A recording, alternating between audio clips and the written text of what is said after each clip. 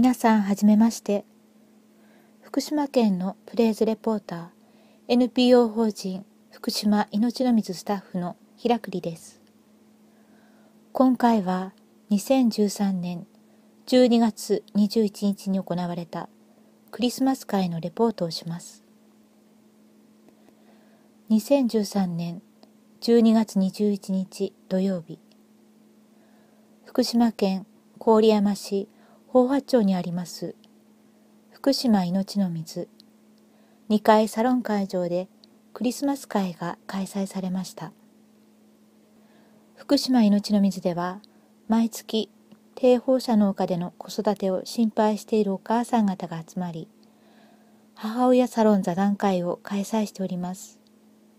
12月はクリスマスということで子供たちのために開催しました。キャッチフレーズは子供たちには楽しくお母さんには優しいクリスマスです。皆ノンクリスチャンの親子ですが予約制で子供30名の枠をすぐ超えてしまい50名まで増やしました。子供たちお母さんを混ぜて80名くらい集い会場はとっても賑やかでした。0から3歳の子が34名。それ以上の子が16名ということで小さい子向けのクリスマス会の内容としました。クリスマスソングをみんなで歌いサンタさんやトナカイさんが登場しお友達になったりじゃんけん大会があったり大きなプレゼントをもらったりしました。その中でプロジェクターを使いながらイエス様の降誕の話をしました。初めて聞いた方も多かったと思います。バザーやお母さん方へのプレゼントなどもあり盛りだくさんでした。会自体は1時間で終わり残りの1時間はフリースペースとしました。子供たちは喜んでスタッフやボランティアに来てくださった方と遊び終了の時間には帰りたくないと泣く子がいるほどでした。教会でのクリスマス会には一般の方は来づらいようですが、NPO でのクリスマスにはこぞって押し寄せる要素を見て、子供たちを喜ばせたいという親の愛と、それに応えるように大きく開かれた神様の愛の御手を見ました。感想。とても楽しかった。1月のサロンにも参加したい。外で遊べない中、こういうイベントはありがたい。6歳の子を持つ母親。僕たち福島の子供たちのためにいつもありがとうございます。2歳児の母親。食べ物、水、空気、何もかも気にすれば気になります。でも、ここで生きていくしかないので、不安な気持ちを押し殺して生きています。でも福島で生活している人はたくさんいるのでみんなで助け合っていきたいと思います。今日は楽しいひとときをありがとうございました。2歳児の母親。クリスチャンの存在が身近になった。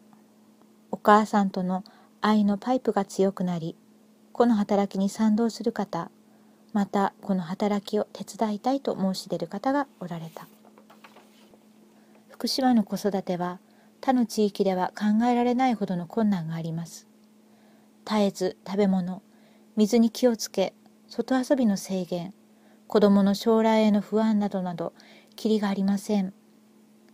その中、ほとんどの若いお母さん方は、その不安を表に出すこともできず、一人子供を必死で守ろうとしています。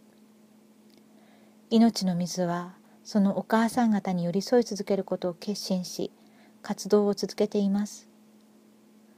その中で決して変わらない愛、決して見捨てない愛が浸透してゆき、神様の臨在が現れていくことを期待します。